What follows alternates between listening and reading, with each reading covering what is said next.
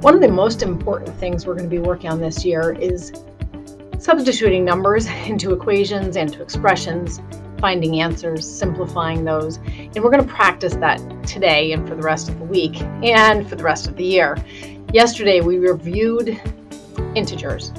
Now we need to practice using those integers in formulas and expressions and simplifying them. Um, this year, we're going to be learning about slope. Remember last year you used constant proportionality and we graphed those lines. This year we're going to talk about how quickly that graph grows. And in order to do that, we need to be able to substitute numbers in for x and find out the value of y. So we have a big job ahead of us. And do you remember, a lot of times in math we hear you say, when am I ever going to use this? You are going to use this. You are going to use this all year long. You are going to use this in the high school if you are planning to go to college, you are going to use it on the ACT and the SAT, those college entrance exams. You're going to use it in college. And whether or not you go to college, you will use it for the rest of your life. And here's an example I did some landscaping over the summer, and I had a big empty space that I needed to fill with mulch. Mulch comes in a yard, what they call a yard, and it covers 27 cubic feet. That's volume. I had to find the volume of my space so that I knew exactly how much mulch I needed.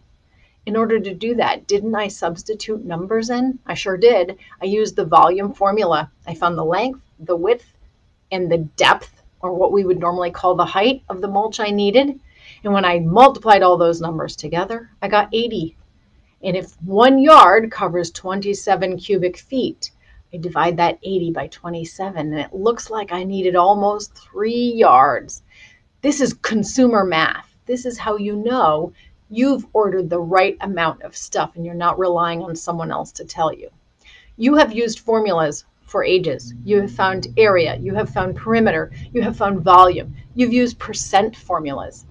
This year, you're going to use even more. We're going to do slope. We're going to find the value of the slope of the line we are going to use the Pythagorean theorem. Oh, there's so much more.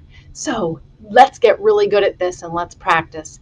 To start, would you please respond in the discussions by giving us an example of a formula you remember either from seventh grade, sixth grade, elementary school. And if you can't think of one of those, ask your parents, ask a guardian, ask a grandparent. Do you know of a formula that you use? Because this is stuff that you will use for the rest of your life. Good luck. I can't wait to see what you say.